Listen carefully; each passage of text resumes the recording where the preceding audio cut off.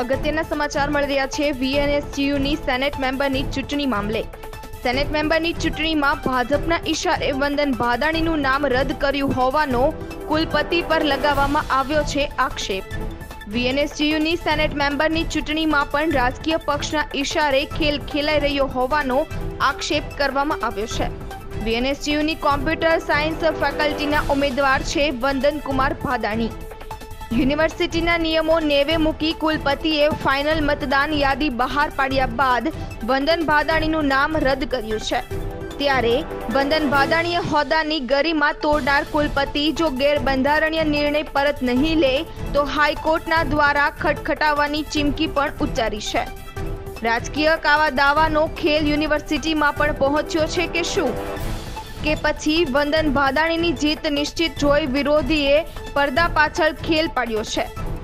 આગામી સમય જ બતાવશે કે તંત્ર દ્વારા યોગ્ય નિર્ણય લેવામાં આવશે કે પછી યુનિવર્સિટીનો મામલો કોર્ટ પર પહોંચશે.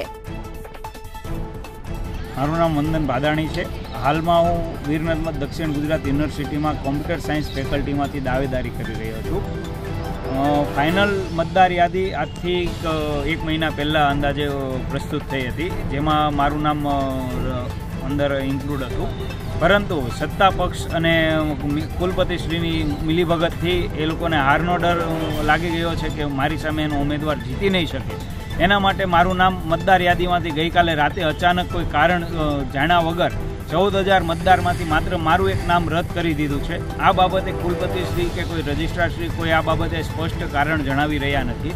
આ બાબતે મારું સ્પષ્ટ માનવું છે, કુલપતિ અને એના મળતિયાઓને બીક લાગી ગઈ છે કે તેઓને ચૂંટણી હારવાનો ડર છે. ચૂંટણી પણ નથી ચૂંટણીમાં મને ઊભો પણ નથી રહેવા દેતા એવો એમને સ્પષ્ટ ડર ચોખ્ખો મને દેખાઈ રહ્યો છે.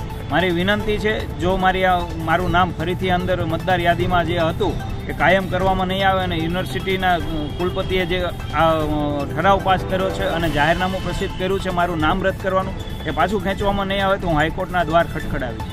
Bureau report GTV Gujarat news.